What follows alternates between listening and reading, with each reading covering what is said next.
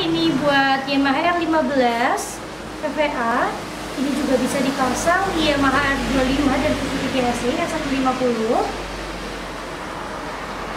Orderan Bro Muhammad di Pasuruan, Jawa Timur